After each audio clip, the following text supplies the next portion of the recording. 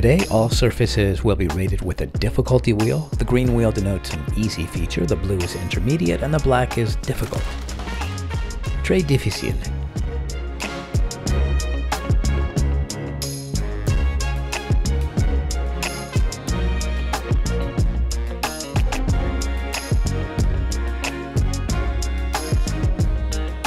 This video is for you if you spend some time in the rinks and the lots on the trails and you can turn to both sides, you're a decent skater, you can jump just like two inches and you have a strong decisive stop, whatever your mechanism is, you can handle every single one of the obstacles I'm going to be showing you today.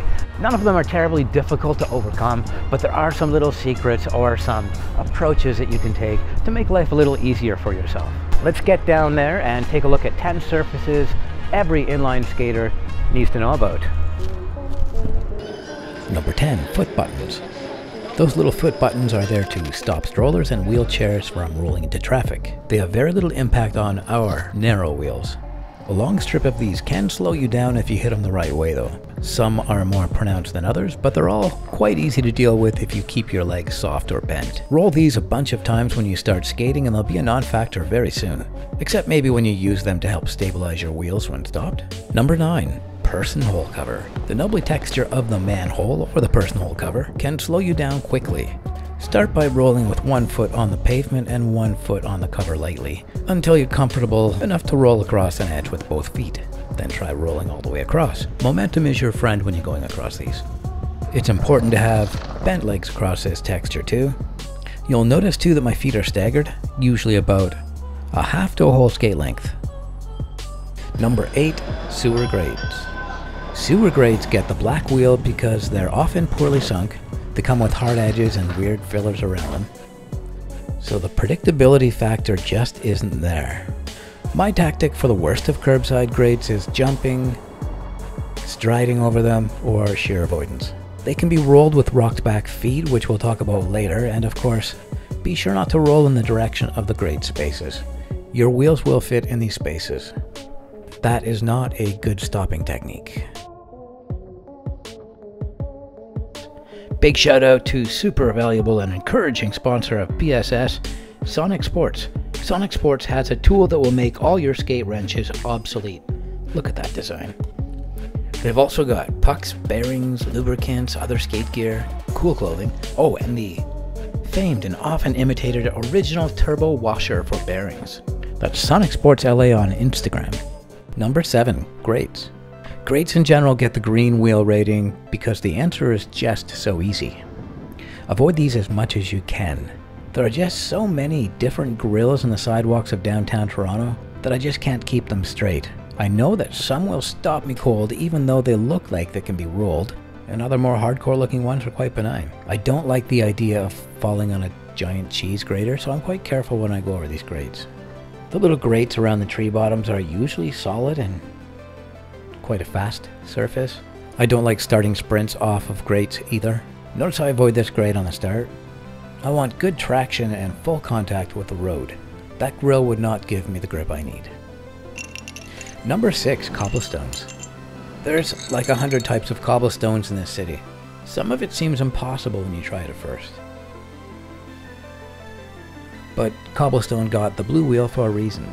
It escapes the black rating because it's a regular pattern and we skaters are good at cracking foot codes. On the big square cobblestones I usually skate diagonally, on the long bricky type cobblestones, the really rough ones, I skate straight across. I avoid coasting parallel to the deep cracks that separate the stones. That of course is the main danger. This weird irregular stone pattern felt unrollable when I encountered it on this day. Initially, I rolled onto it for just a few feet and thought, can this be rolled? And miraculously, a few minutes later, it felt completely skatable. Just very tiring. I'm always amazed by how quickly the feet and the legs learn to deal with patterns, and vibrations too. So, while I advise you to give cobblestone your full attention, give it none of your respect. You can own cobblestone, it's a matter of fitness really. Number 5. Potholes. If you see them, there are many ways to deal with them. Skating is seeing, so always be scanning for potholes. You can roll potholes with staggered feet, or you can keep one foot suspended and ready to plant. You can even stride off them, I roll potholes for fun at medium speed or low speed. I do this so my feet are always ready and trained for adverse surfaces. I like it as a training drill. It's fun. I treat every pothole like I'm dropping into a bowl. It's important that I push my feet into the bottom of the bowl aggressively and rock my feet backward to match the opposing pothole face. But really at any decent speed you should just stride over or around potholes. Oh yes, flying over them is always an option.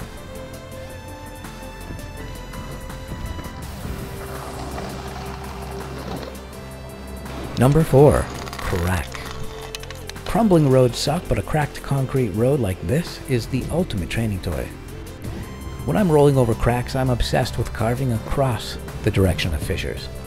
Cracks these deep can easily divert or even trap your wheels, so I take the opportunity to exaggerate my crack carving technique when in real situations. This stretch is perfect because it forces me to carve in both directions equally. Having a strong one-footed glide opens up surfaces like this one too, being able to extend or cut short a stride gives you control over whether you want to roll or skip the next feature. Notice how my legs become more bent as the surface difficulty gets higher. When I'm on, I'm low. Stay low.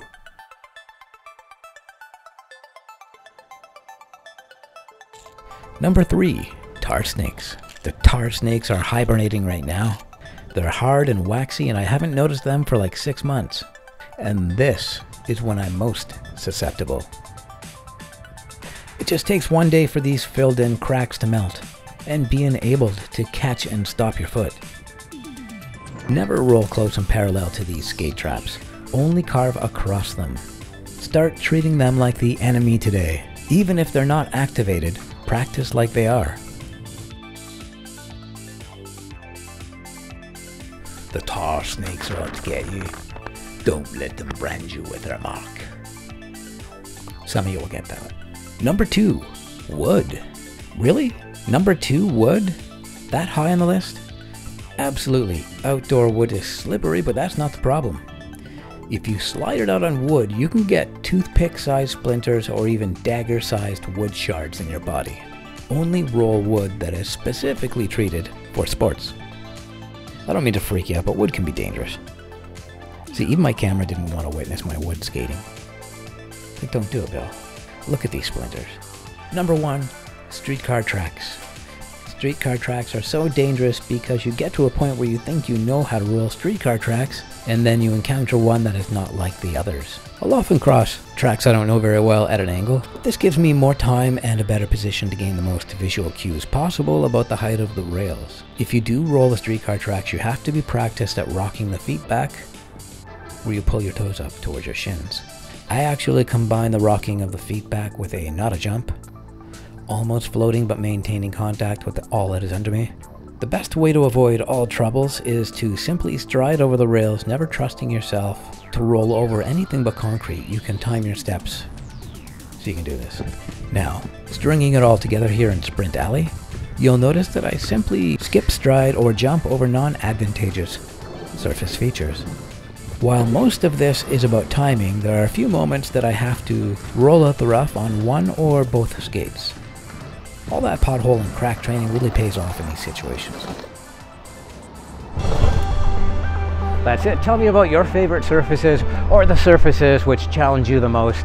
Um, as usual, we will have the comments section raging with good input on this one. I like to take a look and see what people are talking about. And quite often there's like something that comes up that maybe should have been number one on my list. So who's going to have that number one this time? Ooh. Rolling rough stuff really does turn your legs into like Zambonis. No, not Zambonis. that would mean the person behind me could skate better because of me. Turns them into like a, a Steadicam suspension gyroscopic contraption.